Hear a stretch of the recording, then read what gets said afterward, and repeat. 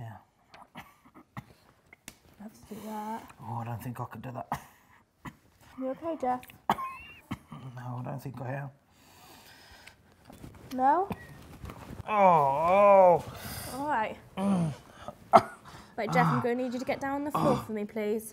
oh, oh, oh, it's hurting. All right, just lower yourself down. Ah. Oh.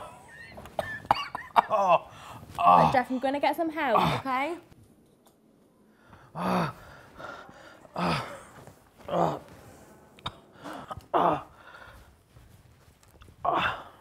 Jeff, I've got you an aspirin. I'm going to need you to bring your knees up.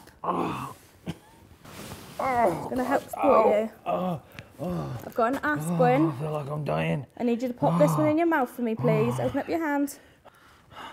Pop it in your mouth and give it a good chew and then put it under your tongue. Ambulance is on its way. Oh, yeah, I feel, I feel like I'm dying. Deep breaths. That's it, well done.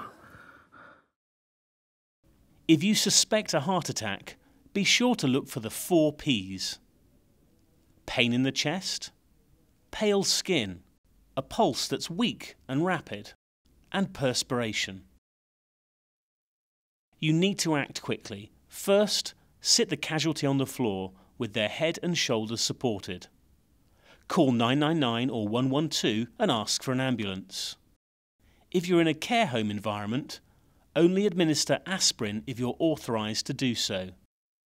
Keep checking breathing, pulse, and responsiveness. If the patient loses responsiveness, open the airway and prepare to give CPR if breathing stops.